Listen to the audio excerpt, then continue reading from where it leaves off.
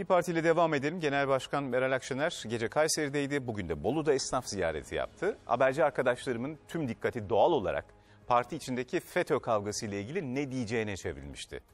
Ancak o bu konuya hiç girmedi. Erken seçim konusunda Kılıçdaroğlu'na destek verdi. Yani tartışmaları başka bir yöne çevirdi aslında.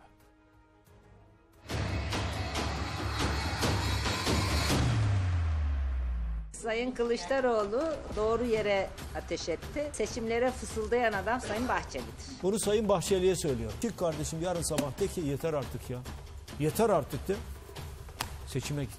Türkiye'yi seçime götür. Milliyetçi Hareket Partisi sandığın 2023 yılının Haziran ayında kurulmasından yanadır. Sayın Erdoğan'dan talep etmiyor, Sayın e, Bahçeli'den talep ediyor. Bu çok doğru bir e, strateji ve taktik. İttifak ortağı Kemal Kılıçdaroğlu'na destek verdi. Bizim ülkemizde en fazla, en şiddetli bir şekilde seçim zamanında diye bağırırsa e, iktidar mensupları bilin ki çok hızlı seçime gidilir. Akşener gece Kayseri'deydi.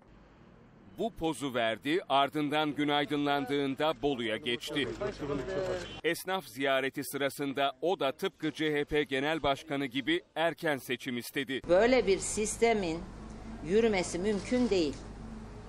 Onun için e, seçim olacaktır. 2023'e kalmadan olacaktır. Haberciler parti içinde FETÖ kavgasıyla ilgili Akşener'in ne diyeceğini merak ediyordu. O konuşmadı ama Grup Başkan Vekili Lütfü Türkkan, İstanbul Milletvekili Ümit Özdağ'a yüklendi. Sayın Özdağ'ın e, bu tepkisinin kongreden sonra ortaya çıkması tabii ki manidar. Mecliste basın toplantısı yapan Türkkan da İyi Parti'ye operasyon yapıldığını iddia etti. Bu operasyon 6 ay evvelden de haberimiz de var. Ama bu operasyona bilmeden, bilerek e, çanak tutmak e, sıkıntı verir insanlara.